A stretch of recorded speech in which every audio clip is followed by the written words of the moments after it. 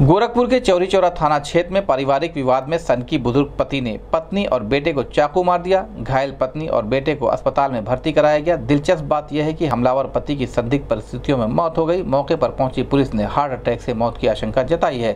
फ़िलहाल शव को पोस्टमार्टम के लिए भेजकर पुलिस मामले की जाँच में जुट गई है। आपको बता दें कि मामला चौरी चौरा थाना क्षेत्र के सतवा पूर्वी गाँव के पास का है, जहाँ बुज़ुर्ग रामगति का देर रात में अपनी पत्नी से विवाद हुआ था।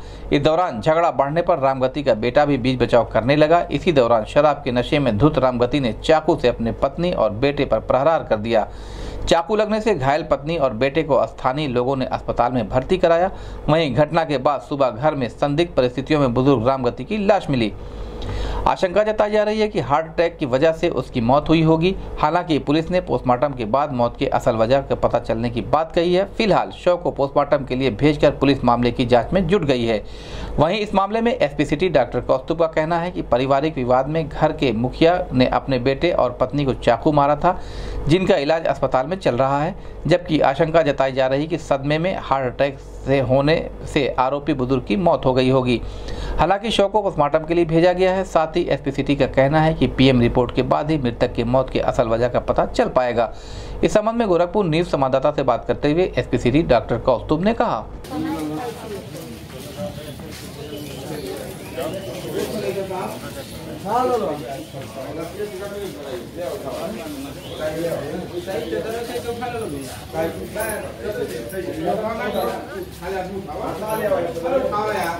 अरे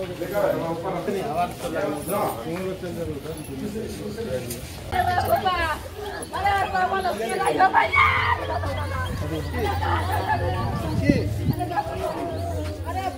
क्या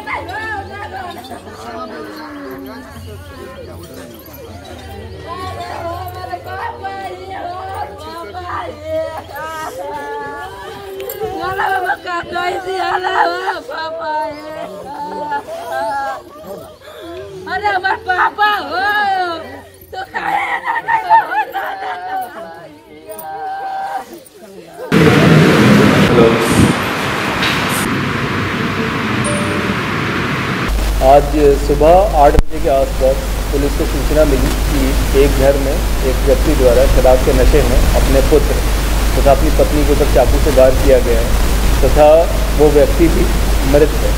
इस पर पुलिस ने जाकर उसके लड़के विनोद तथा उसकी पत्नी चनावती से बात की। उन्होंने बताया कि उनके पिता थे, वो शराब के नशे में उन्होंने इनके ऊपर बात किया तथा ये जाकर सो गए और सुबह इनकी बॉडी मृत अवस्था में मिली है, इसे पीएम के लिए भिजवा दिया गया है, तथा आगे की विधिक कार्रवाई